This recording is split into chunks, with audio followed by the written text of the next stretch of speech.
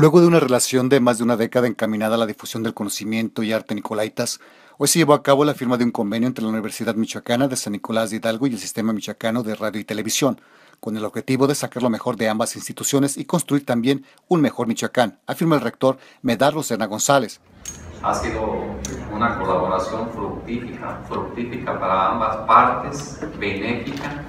y el día de hoy estamos poniendo el acento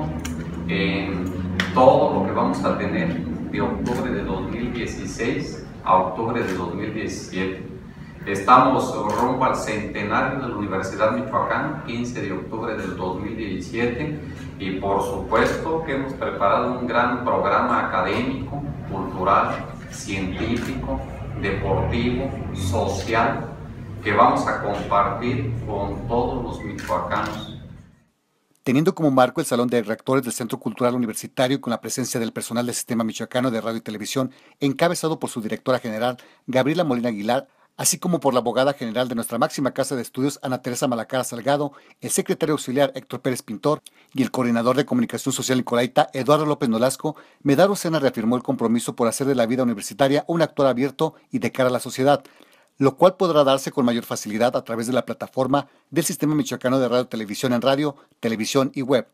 Sena González recordó que la Universidad Michoacana, ante el difícil conflicto que vive pro la ocupación ilegal de sus instalaciones, se ha abierto al público en un posicionamiento a favor de la transparencia, en aras de que la sociedad conozca de primera mano lo que está pasando y se entere de las posiciones que guardan los jóvenes inconformes, así como las autoridades universitarias, gracias a la radio y la televisión.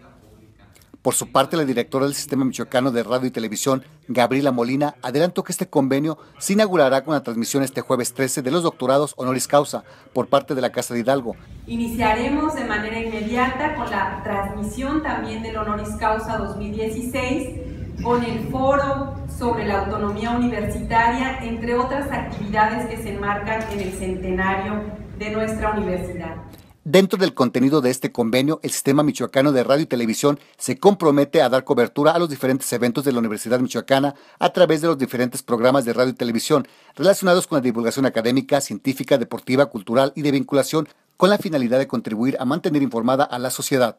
Acuerdo formal que dará inicio a una nueva etapa de la relación entre ambas instituciones.